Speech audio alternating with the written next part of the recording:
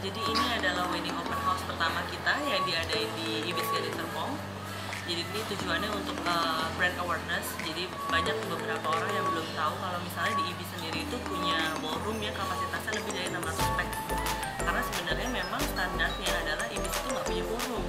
Tapi di Ibis Garden Serpong ini punya uh, ballroom yang kapasitasnya di atas dari 500 tujuan acara ini sebenarnya